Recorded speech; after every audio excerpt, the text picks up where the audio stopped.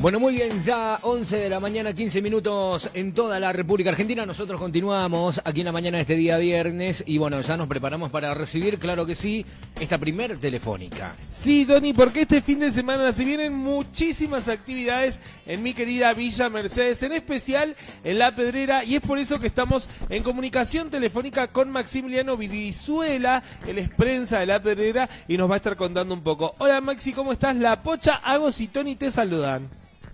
Hola chicos, ¿qué tal? Buenos días para todos, buen viernes y un saludo grande para toda la audiencia. bueno, muy bien. Sabemos que va a haber muchas propuestas en las pedreras, algunas vinculadas a la cultura, otras vinculadas al deporte. No sé por cuál querés empezar a comentarnos. Vamos a arrancar por el principio, diría un filósofo. Eh, hay, un varieté lindo realmente este fin de semana en el, parque, eh, que va a comenzar más o menos eh, siguiendo con, la tendencia de lo que viene siendo Villa Mercedes en, este último tiempo. estas últimas semanas Villa Mercedes es rock, realmente lo, viene demostrando con lo que ha sido Rock en la Casa, hoy también arranca el pre-Calle en Costa Rock, y bueno, vamos a seguir un poquito con, con esta tendencia, eh, con un muy lindo homenaje realmente que se va a estar desarrollando en la jornada de hoy en el anfiteatro a partir de las 19.30 horas, eh, a Norberto Aníbal el Carpo o Papo Napolitano.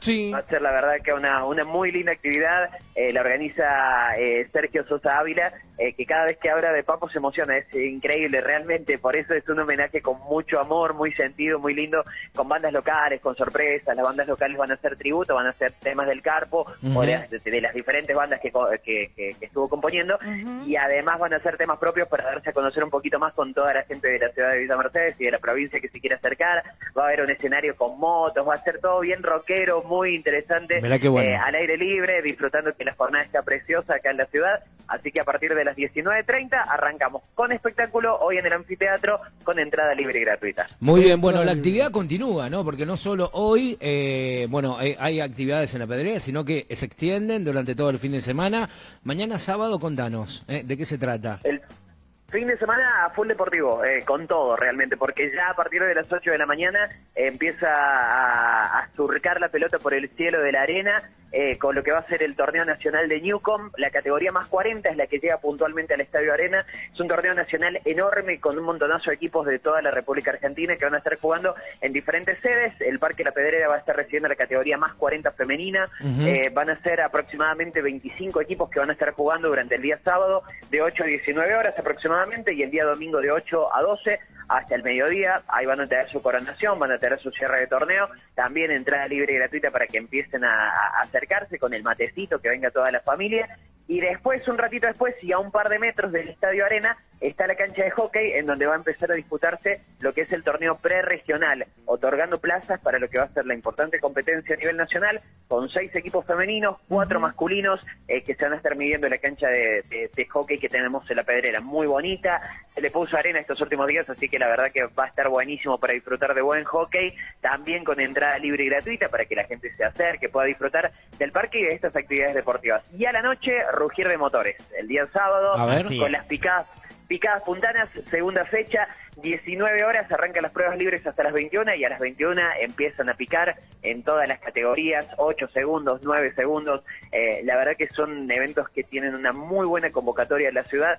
Sabemos que nosotros decimos picadas en Villa Mercedes y tenemos más de 3.000 personas en cada una de, la, de las competencias, así que la verdad que es una competencia que llama mucho, que convoca mucho, eh, que tiene todo, porque además de las picadas tenés un patio gastronómico enorme que está buenísimo, así que es una muy linda propuesta para el sábado a la noche. Así es, Maxi. Agostina te saluda. Bueno, a la gente que está, que no es de Mercedes, que en el interior de la provincia, ¿a qué hora lo invitas a que vaya este fin de semana a la Pedrera? Porque estás dando un abanico de actividades culturales y deportivas.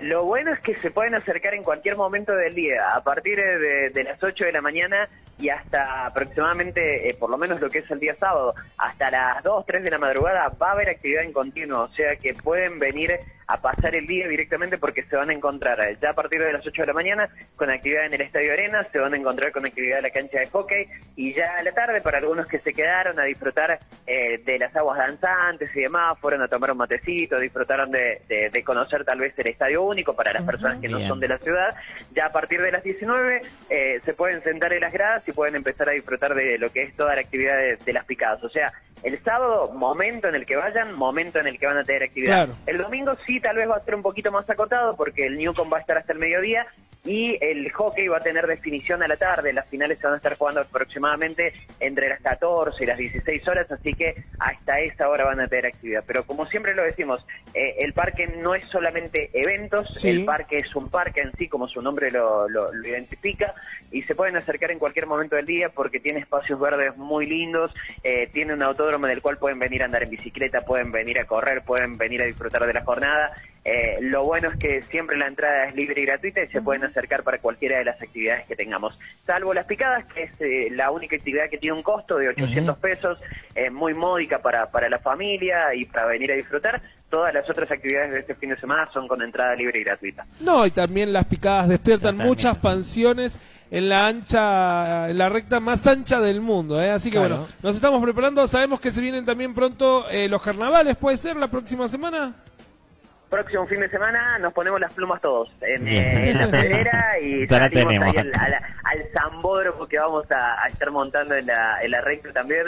Eh, van a ser de aproximadamente 300 metros, así que también viernes y sábado va a ser la, la llegada de lo que van a ser los corsos a Villa Mercedes y ya de a poco con un trabajo de hormiga muy minucioso, muy tranquilo, se está preparando el gran evento de este año, sin lugar a dudas, que es la Feria Industrial, Claro. eh, que la vamos Bien. a estar recibiendo a finales de- del mes de abril. Así que eso es como que muy a poquito, como que se van desarrollando todas las actividades y entre medio, en un rinconcito, estamos ahí con la Feria Industrial avanzando pasito a pasito eh, durante cada jornada para lo que es el, el evento más grande, sin lugar a dudas, que vamos a tener en este 2023. La verdad Maxi, que- sabe- Sí, sí, sabemos que eh, vas a tener muchas actividades la pedrera.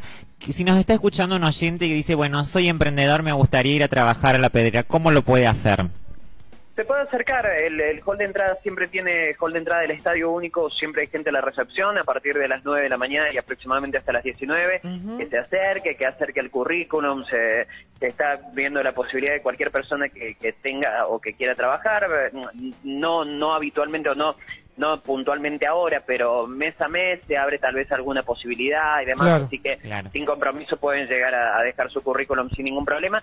Y para esta persona que es emprendedora en este caso, Sí. eh, se puede acercar tranquilamente a diferentes programas o de gobierno de la provincia o de municipalidad de Villa Mercedes, por ejemplo, eh, que tienen sus diversas ferias de, de emprendedores que constantemente se están acercando al parque porque eh, habitualmente cuando hay este tipo de eventos eh, se convoca a la feria de emprendedores para que también le agreguen un plus. Entonces sabemos que tenemos mucha gente por un evento deportivo, un evento cultural y también tiene la propuesta de la feria de emprendedores, de pasar por los artesanos o algún puesto gastronómico que también se habilite ahí en el sector. Bueno, Bueno, muy bien. perfecto. Muchas gracias Maxi por tu tiempo, te dejamos un beso enorme Eh, y bueno, y seguro vamos a estar volviendo a comunicarnos con vos en cualquier momento.